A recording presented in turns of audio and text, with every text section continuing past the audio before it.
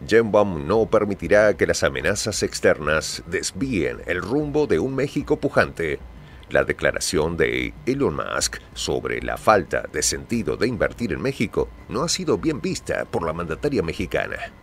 Sin dudas, las palabras del magnate sudafricano estadounidense servirán de incentivo para impulsar políticas que fortalezcan la confianza en el mercado mexicano. El compromiso de Genbaum con el desarrollo sostenible y la innovación posicionarán a México como un destino atractivo para la inversión, desafiando las predicciones pesimistas. Los detalles. A continuación. ¿Quieres saber cómo se puede fundar la patria grande? Mira el final del video. La presidenta mexicana ha demostrado ser una líder visionaria que entiende el potencial del país y la importancia de exportar no solo productos, sino también confianza en el ámbito internacional. Su enfoque en la sustentabilidad y la modernización de la infraestructura es una clara respuesta a los titubeos de Musk.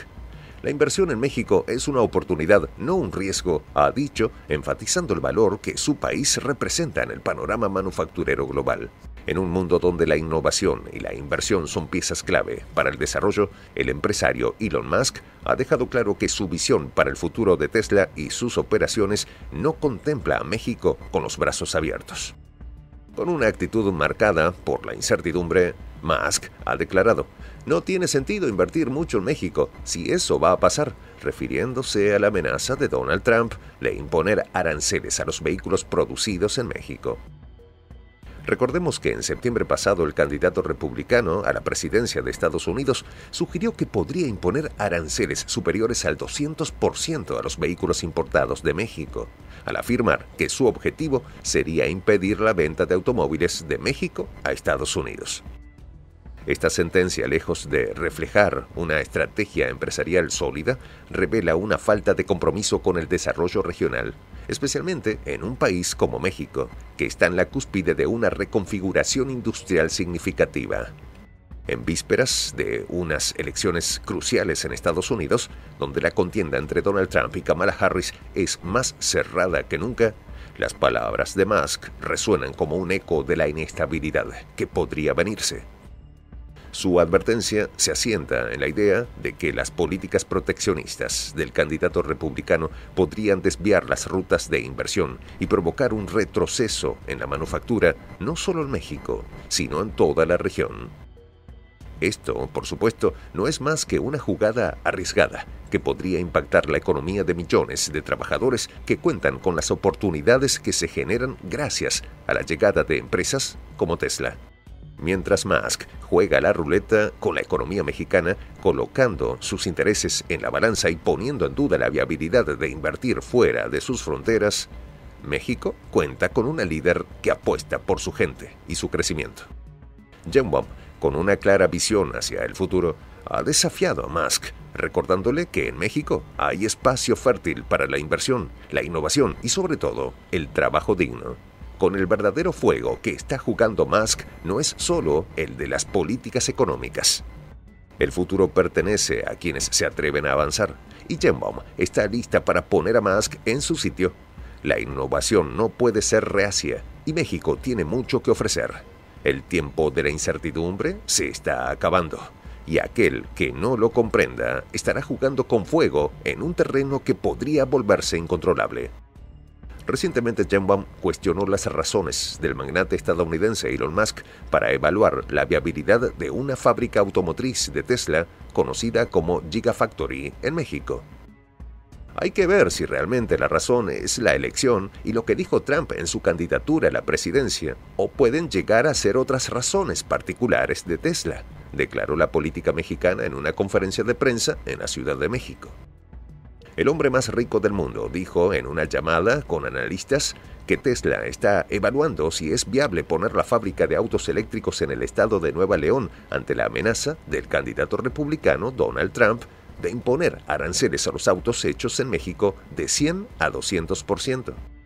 La presidenta de México mencionó que desde el anuncio en marzo de 2023 a la fecha no han habido muchos avances.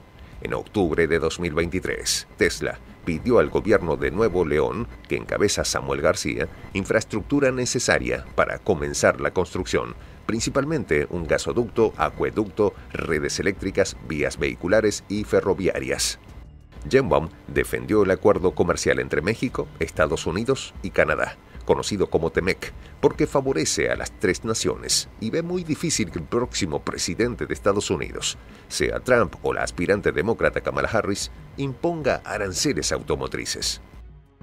Tras el mensaje de Jenbaum, el gobierno de Nuevo León emitió un comunicado en el que mencionó que ha cumplido los compromisos con Tesla, la cual tiene una inversión importante en el Estado, pero no precisó una cantidad Además, añadió que ha trabajado de la mano de la empresa, planeando la infraestructura y el desarrollo de sus proveedores, incluso con la intención de crear un polo de desarrollo económico. La autoridad estatal comentó no ha recibido ningún aviso formal de la compañía y si en algún momento decide ajustar su cronograma de trabajo por circunstancias ajenas a la entidad, lo comprende y respeta. Por parte del gobierno del estado está todo listo para la llegada de Tesla y muchos de sus proveedores ya están invirtiendo y produciendo en la entidad, agregó en el documento que se hizo público a mediados de este año. Horas antes, el expresidente Andrés Manuel López Obrador había declarado que el comentario de Musk no era serio porque la declaración de Trump ocurre en el marco de las campañas, donde hay mucha retórica el exmandatario mexicano expresó que Tesla debe tener otro plan de negocio, porque empresas como la de Musk muchas veces no producen, sino especulan, dijo el entonces presidente.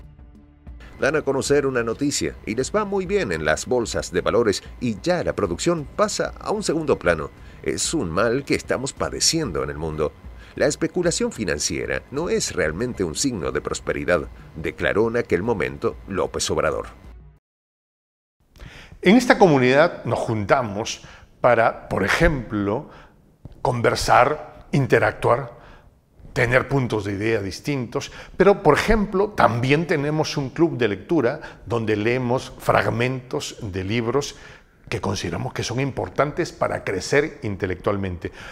También, por ejemplo, hacemos algo como lo que hace nuestro amigo el jefazo ahí en Bolivia. Les cuento la experiencia que me parece fascinante. Él tiene un restaurante ahí en Bolivia. Y en ese restaurante, ahí viene lo que tiene, un televisor.